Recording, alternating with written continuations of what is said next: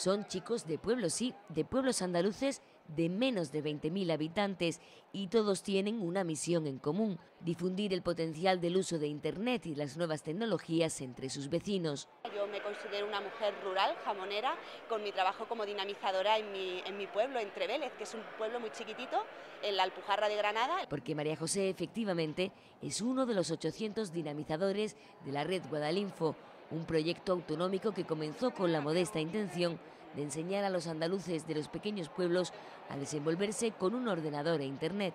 La red ha madurado y con ella sus alumnos, representantes ahora de un perfil emergente en las zonas rurales, el del emprendedor tecnológico. Son proyectos de abajo arriba, liderados por la gente de los municipios y nosotros lo que pretendemos es a través de la tecnología acelerar todo el proceso para pasar de una idea a un proyecto. Proyectos como el de María José, que desde su pequeño pueblo de la Alpujarra ha logrado llevar sus jamones a buena parte de Europa gracias a esas nuevas tecnologías. ¿Qué es para ti ser más digital? Pues dejar de ser invisible, ¿no? Hay muchísimas iniciativas, yo conozco gente que tiene muy buenas ideas, pero no pueden quedarse allí en la Alpujarra nada más que para ti, para mí, en petit comité. Tienen que salir al mundo, arriesgar, aprovechar las herramientas que tenemos para, para decir aquí estamos, oye, y creemos en nosotros mismos. En este encuentro anual, Guadalinfo y sus dinamizadores celebran sus 10 años de vida.